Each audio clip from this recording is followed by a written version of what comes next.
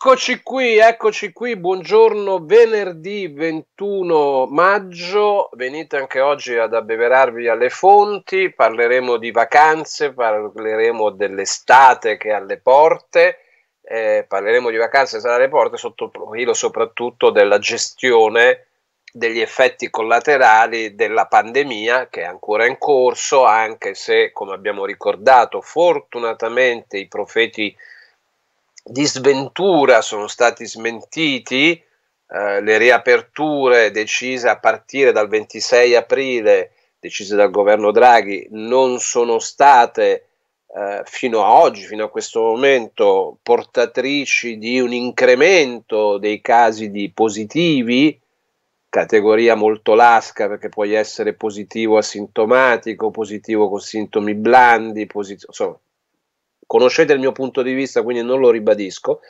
Dico, i profeti di sventura sono stati smentiti perché i contagi sono in calo e eh, eh, mentre invece aumentano eh, le vaccinazioni. Il combinato disposto, come si dice, di queste due circostanze, di questi due fattori, dovrebbero lasciare intuire, presagire che alle viste c'è un'estate che dovremmo gestire e vivere ehm, in relativa tranquillità. Poi ciascuno si regolerà come crede sull'uso delle mascherine, se mai dovesse essere abolite. Però insomma, tante questioni sullo sfondo, poi ci sono le cosiddette fibrillazioni dei partiti del governo. Eh, Enrico Sottiletta, il segretario del PD, che ha tirato fuori questa ipotesi della tassa di successione per costituire un fondo per i giovani per carità, poi tassa di successione si può anche ritenere che se uno eredita un patrimonio complessivo di 1.200.000 euro e gli viene chiesto l'1%, 12.000 euro, cosa sono 12.000 euro su un regalo che ti arriva in eredità, erediti un patrimonio mobiliare, immobiliare, materiale di un milione e due, dai 12.000 euro allo Stato bene, anche 5%, 60.000, perché no? Tanto se hai ereditato gratis puoi anche dare 60.000 euro allo Stato. Il problema è che magari la persona che eredita, pensate, mio figlio in prospettiva eredita un patrimonio che può essere ritenuto importante, 1.200.000 euro,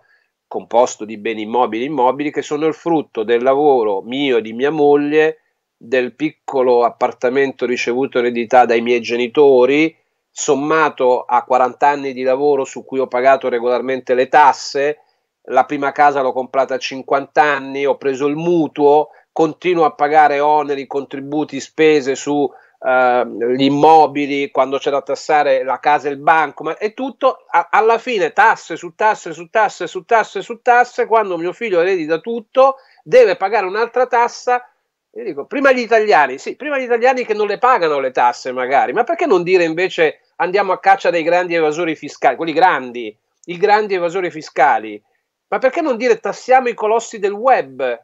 No, nel senso che è una polemica che si trascina per, per eh, i giganti del web che fatturano e hanno bilanci multimiliardari e poi si va a fare il confronto fra quello che hanno fatturato incassato e quello pagato di tasse è ridicolo, almeno in Italia. Eh, ma ci sono le norme europee, le dinamiche, gli accordi precedenti, il Lussemburgo, i paradisi fiscali. Ho capito, alla fine andiamo sempre a martellare su chi magari le tasse di riffa o di raffa nella vita le ha sempre pagate. Abbandoniamo questo terreno perché è scivoloso, non mi va di fare retorica. Do il benvenuto al sindaco di Tropea Giovanni Macri, che è con l'accento sulla I, anche se in rete stamattina sono andato a verificare in qualche sito è senza accento. Giovanni Macri, Giovanni detto Nino, sindaco di Tropea, la quale Tropea è stata eletta a uh, città borgo dei borghi da una trasmissione della RAI che è arrivata all'ottava edizione e mi sembrava quindi giusto, ricordando a tutti quelli che ci guardano, non andate all'estero adesso perché si può tornare a viaggiare, non andate all'estero, o meglio, se volete andare all'estero andate all'estero, io sono un liberale e un liberista, però l'Italia è piena di meravigliosi posti, sia in montagna per chi ama la montagna, io no, sia al mare, da Ventimiglia, dalla riviera di Ponente Ligure a quella di Levante, scendendo per la Toscana, il Lazio, la Campania, la Basilicata, la Calabria, e dall'altra parte partendo dal Friuli, scendendo per tutto il mare Adriatico. Poi ci sono le isole, le piccole, le grandi, la Sicilia, la Sardegna. Ma perché dovete andare in Grecia? Perché dovete andare in Spagna? A rischio magari poi di beccare l'ennesima variante e riportarla in Italia? State in Italia, andate dove vi pare. Visto il premio a Tropea, parliamo con il sindaco di Tropea. Buongiorno sindaco. Buongiorno Antonello e grazie per avermi invitato. Eh, eh, allora, come è andata questa votazione? Queste, ve l'aspettavate? Avete fatto eh, opera di lobbying? Avete coinvolto i telespettatori eh. della RAI? Cosa avete fatto? Ma sicuramente abbiamo fatto opera di lobbying, sicuramente, quindi è andata eh. benissimo, meglio non poteva andare, abbiamo avuto un risultato importante che è venuto dal voto popolare, quindi abbiamo sicuramente approfittato della eh, conoscenza che c'è nel pubblico della città. Tropea è una città internazionale, quindi si sono mobilitate diverse comunità anche all'estero sul voto eh, attraverso la piattaforma RAI. Quindi abbiamo avuto un'affermazione importante eh, sul voto popolare, grazie al voto popolare, e poi ovviamente ha giocato una parte decisiva il voto della giuria tecnica. Però voglio dire, dietro questo c'è stato un grande lavoro, quindi de- da parte di tutti i calabresi e non solo, di tutte le persone che hanno avuto, magari si sono scontrati o hanno fatto meta in questa città che sicuramente gli avrà lasciato qualcosa di positivo, una qualche emozione che poi bella, un ricordo bello che ha portato poi chi è passato a Tropea a eh, come dire, darci una mano d'aiuto, quindi votando e poi portandoci alla vittoria. Dunque, il voto dei calabresi nel mondo, il voto della giuria tecnica, tra cui ad esempio ricordo lo storico dell'arte Jacopo Veneziani, Tropea sì. definita la perla del Tirreno per completezza di informazione, devo dire che in questa edizione del Borgo dei Borghi, eh, Tropea, la Calabria, ha preceduto Baunei, eh, in quel di Nuoro, cioè la Sardegna, e Geraci Siculo in quel di Palermo in Sicilia, entrambe bellissime località, però appunto quest'anno il trofeo, il titolo si è aggiudicato Tropea. Allora, Sindaco, un, intanto quanti abitanti fa normalmente Tropea quando non mm. c'è la stagione turistica e quanti ne ha con la stagione turistica al netto del Covid, diciamo, in una situazione fisiologica normale? Allora, eh, poco più di 6.000 abitanti di cui 600 concentrati nel borgo, quindi nella città vecchia, nella parte antica della città. Quando arriva l'estate, ovviamente la popolazione flottante va da, passiamo dai 15.000 con punte magari che eh, arrivano, lambiscono i 50-60 mila abitanti. Abitanti, eh, cioè non solo abitanti quindi pernottanti, eh, ma ah, de- devi, bisogna tenere conto del fatto che Tropea è l'unica città eh, in senso stretto di, di, quella, eh, de- di, quel litorale che viene comunemente definito, escluso Pizzo, Costa degli Dei e Nicotera, però per quanto riguarda la parte più richiesta, quindi Capo Vaticano, Parghelia, Zambrone, eh, è l'unica vera e propria città, quindi tutte le persone che eh, vanno a villeggiare in queste località dove ci sono si concentra il grosso dei posti letto, poi il giorno, anzi direi la sera, ci ritroviamo a Tropea. A Tropea. Quindi la città, l'amministrazione va a gestire qualcosa immediatamente come un 60.000 eh, persone che insomma poi ovviamente vanno gestite eh, dal parcheggio ai vari servizi. Quindi eh, è un'opera importante, oserei dire titanica. Tropea è un fazzoletto di territorio, 3,2 km quadrati di territorio, spiagge ormai ridotte al lumicino per via del, dell'erosione, dell'erosione costiera, è il punto di imbarco in assoluto più vicino all'isola Eole, quindi abbiamo anche un traffico enorme verso quella direzione, parliamo di circa 4-5 mila imbarchi giornalieri, quindi per due, per due, quindi tra notte, rientri e partenze, quindi c'è da gestire un sacco di cose. Quindi abbiamo un peso enorme eh, che grava sulle, eh, sulla città. Eh, come vi state preparando voi? Ma è una tematica che riguarda ovviamente i sindaci di tutte le località turistiche italiane. Vi state preparando a questa stagione estiva perché eh, è evidente che ancora sono in vigore delle norme, non voglio dire di restrizione, ma sicuramente di eh, regolamentazione financo credo alla distanza che eh, in teoria e in pratica dovranno ad esempio osservare eh, i bagnanti in spiaggia, quindi gli stabilimenti balneari, eh, gli accessi, gli orari, esattamente intanto qual è il rapporto fra il, un comune di una regione che si deve rapportare a norme che arrivano da Roma. Allora, diciamo, eh, quest'anno, la, la, la, l'anno scorso si navigava a vista, eh, ricorderai eh, quante eh, improbabili soluzioni venivano prospettate, di, di ombrelloni chiusi, cioè recintati con il plexiglas, eh, distanziatori anche in acqua, insomma cose assurde, ridicole, grottesche. Quest'anno non si è arrivato ancora a dire queste stupidaggini.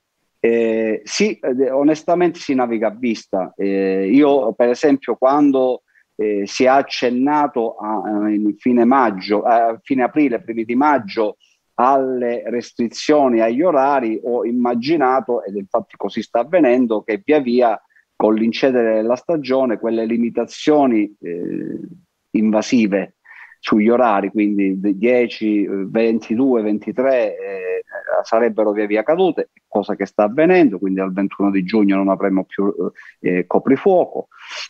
Immagino, immagino, che qualcosa del genere si possa verificare ehm, nel mese di luglio inoltrato sulle mascherine all'aperto, sicuramente così sarà eh, sulle spiagge. Guarda, noi ci affidiamo molto al senso di responsabilità dei villeggianti. Sicuramente eh, Tropea, eh, questo è un dato che viene confermato dalle prenotazioni, anzi luglio va verso il tutto esaurito, agosto eh, beh, eh, insomma non abbiamo sicuramente problematiche, quindi ci aspettiamo un ultra tutto esaurito, un overbooking addirittura, settembre dovrebbe essere pure così, se non si verificano problematiche particolari. Giugno sta partendo, quindi giugno, an- anche fine maggio stanno arrivando delle prenotazioni importanti, quindi noi ci affidiamo molto sul senso di responsabilità di chi verrà a fare vacanza a Tropea.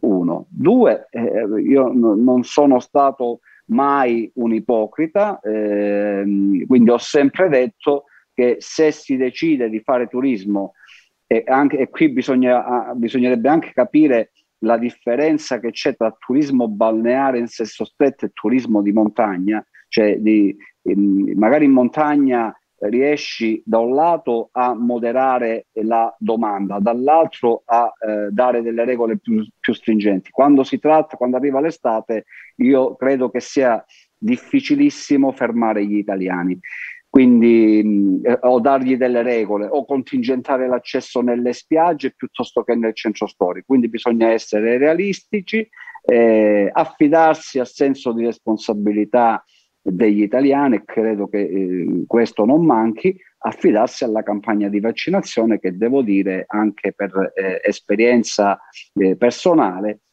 ehm, in quanto organizzatore è partita, eh, procede bene, e sono convinto che darà dei risultati. Anche quello che hai detto in premessa lo testimoni, eh, dei risultati importanti che ci, ci, insomma, ci darà finalmente quella serenità per ripartire una volta per tutte.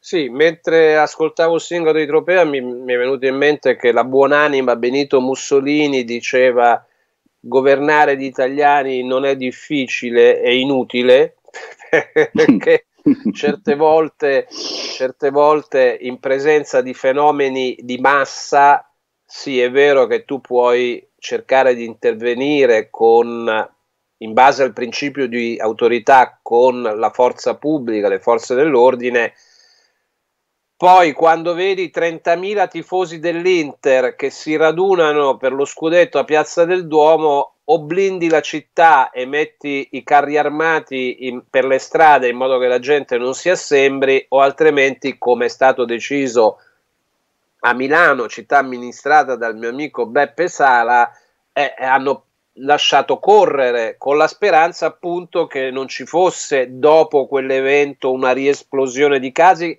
che almeno per quanto riguarda Milano, ma non solo Milano, al momento toccando ferro e tutti gli amuleti non c'è. Però, Sindaco, una, un tema di dibattito a proposito della campagna di vaccinazione che è stato sui giornali e eh, ha visto contrapposto il governo centrale di Roma e molti governatori, molti presidenti di regione, detto più precisamente, i quali hanno detto ma che problema c'è per la campagna di vaccinazione? Possiamo farla anche noi pensando e prevedendo che si possa fare anche al mare, in località turistiche, perché no? E allora qui il dibattito è: ma se io ho fatto la prima uh, iniezione, la prima inoculazione in città, la seconda la posso fare al mare, e se lo, vaccino non lo. E quindi come, come la state vivendo dal vostro punto di vista? Cioè, se io partissi da Roma e venissi a Tropea e dovessi fare la seconda dose, eh, voi siete d'accordo che lo posso fare da voi oppure preferite dire ma noi non ci infiliamo, cioè, pensiamo ai residenti nostri e a quelli che arrivano in vacanza eh, provveda qualcun altro, per capirci. Eh? Io la penso eh, assolutamente, sono in linea, sintonia perfetta con quello che ha detto il governatore Zaia il turista è sacro e quindi va accolto, coccolato e reso, cioè durante la vacanza bisogna dargli la massima serenità, deve stare tranquillo. Aggiungo, eh, Antonello, e forse qualcuno questo lo dimentica, che ai vacanzieri in senso stretto si aggiunge la grande, eh, grande eh, fetta di lavoratori stagionali. Cioè è assurdo che un ragazzo, un operatore eh, stagionale che viene a, da Milano a Tropea a lavorare debba rientrare in, nella sua regione a farsi il vaccino, cioè una cosa veramente ridicola. Si parliamo tanto di eliminazione delle barriere dei confini, trovo veramente questa cosa assurda. Zai ha dato anche una spiegazione tecnica, cioè ha anche spiegato come la cosa potrebbe procedere, quindi l'amico di Milano che viene a Tropea a lavorare piuttosto che in vacanza farà la seconda dose qui,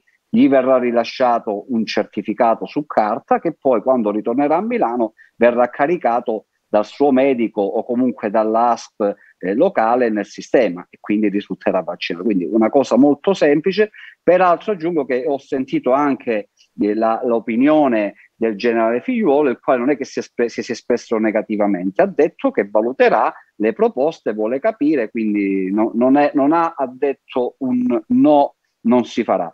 Vuole capire bene come si può fare questa eh, questa campagna al mare o nei luoghi di villeggiatura. Secondo me si arriverà a questa soluzione, la ritengo una soluzione di buonsenso, necessaria e molto e logica, anche sì. per come dire, alleggerire il peso di determinate delle regioni che magari hanno eh, fatto tanto e, e, quindi mandare anche in ferie e a riposo quel personale impegnato nella vaccinazione. Quindi si potrebbe concentrare nelle località dove ora si lavora un peso diverso, quindi aggravare queste località di un ulteriore peso.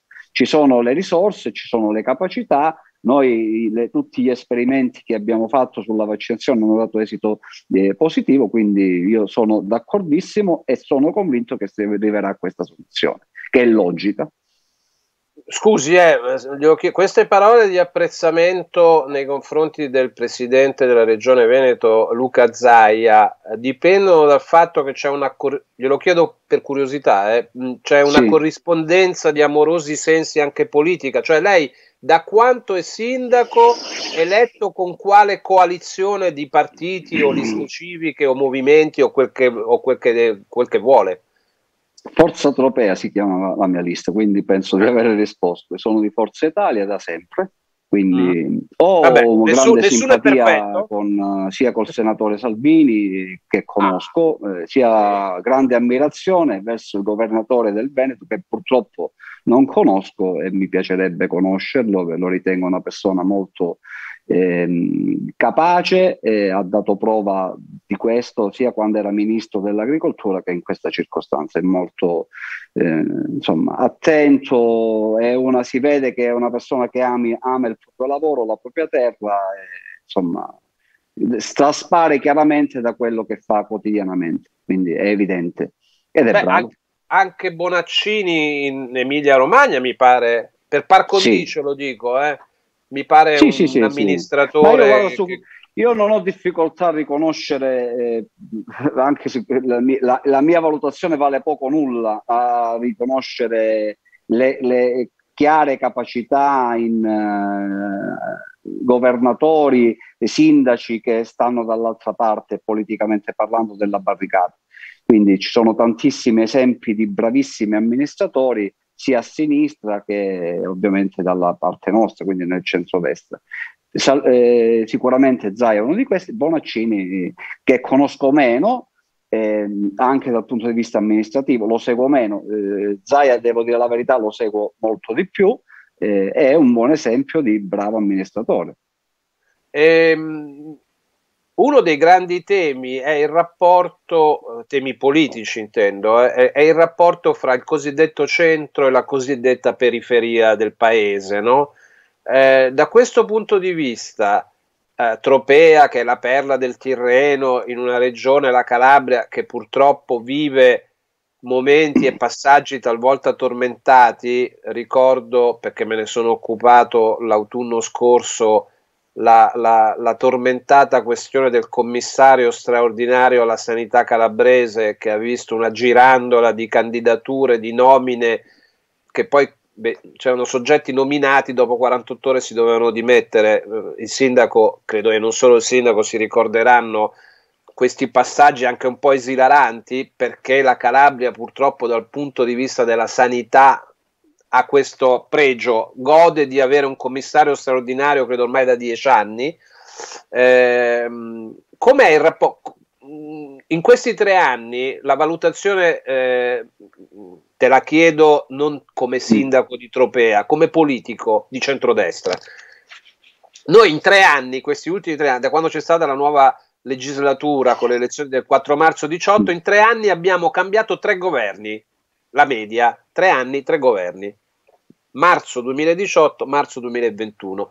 Il governo giallo-verde con Giuseppe Conte, il governo giallo-rosso o giallo-rotto con Giuseppe Conte 2 e questo di Mario Draghi con dentro partiti che nelle precedenti due tornate governative erano o al governo o all'opposizione, adesso stanno insieme. L'unica all'opposizione è rimasta Giorgia Meloni con Fratelli d'Italia nei rapporti con la periferia, questi tre governi, al netto del fatto che tu ti sei dichiarato e sei stato eletto con una lista di centrodestra, Forza Tropea, eccetera, hai notato delle variazioni, dei cambiamenti tra il Conte 1 e il Conte 2 e tra il Conti e Mario Draghi?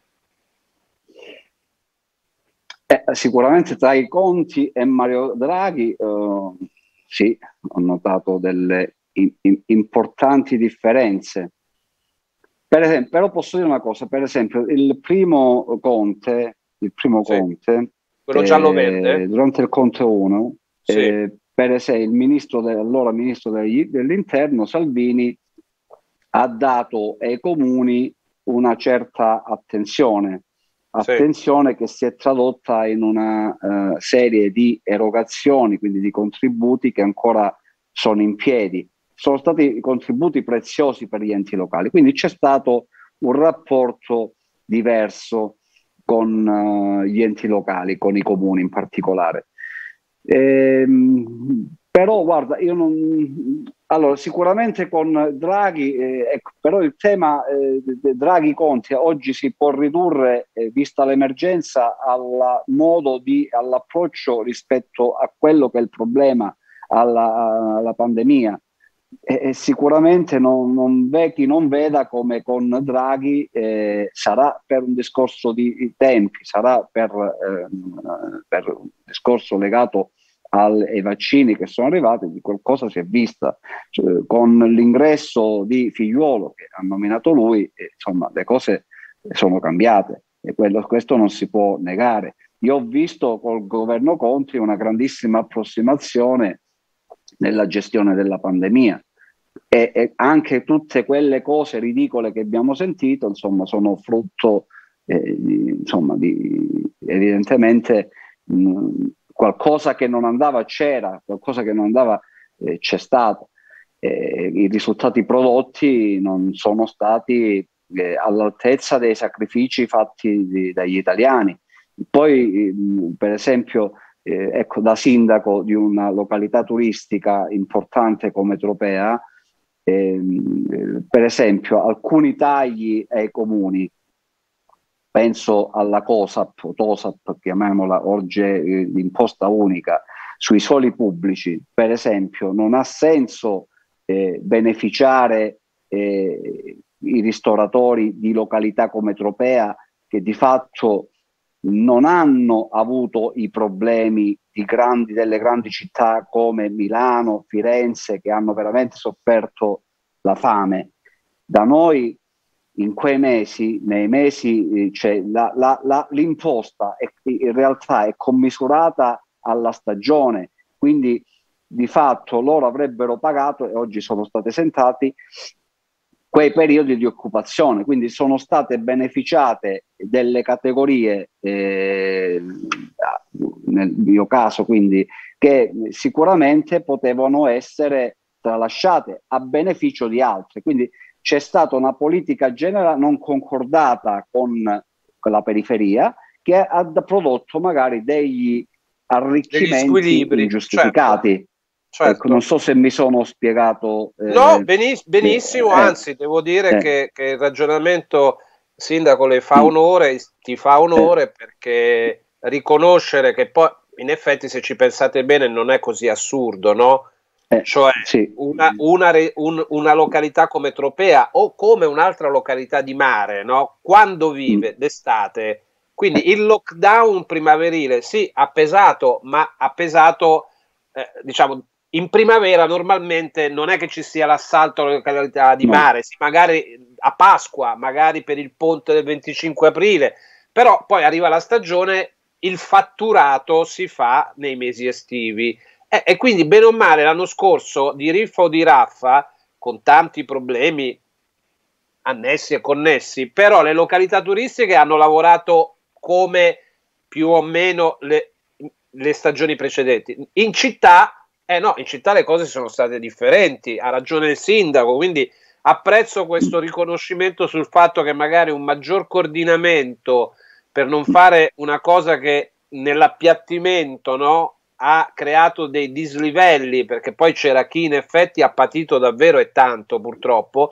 e chi magari ha patito, ma ha patito molto meno o non ha patito affatto, perché la stagionalità degli interventi e dell'andamento del virus è stato diverso fra l'estate, la primavera e l'autunno e tra le località cittadine e le località turistiche. Va bene, chiudiamo con una cosa, Sindaco. Tropea è famosa per la cipolla, non solo per questo, eh, non è che lei si sentisse una, una, ritenesse il mio giudizio una deminuzio di Tropea, ma anche la città della cipolla rossa di Tropea, cipolla IGP.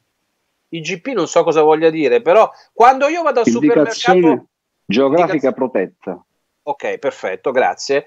Ma io quando vado nei supermercati a fare la spesa, e ci vado davvero, e trovo tante, tanti modelli di cipolla di tropea, ehm, sono tutte cipolle di tropea o vengono denominate così in franchising, diciamo così? No, in franchising no, c'è, c'è tanta ah. contraffazione anche sulla cipolla. Tu pensi che sono stati sequestrati quantitativi enormi di cipolla rossa provenienti dalla Cina piuttosto che dal Cile, con prezzi che addirittura superano quelli della cipolla rossa di Tropea, cipolla rossa di Tropea, Calabria Tropea. Questa è la denominazione corretta. E, e, poi ovviamente il consumatore capisce la differenza quando se la trova sulla tavola. Se magari se ne trova due, capisce cosa significa la dolcezza del nostro prodotto.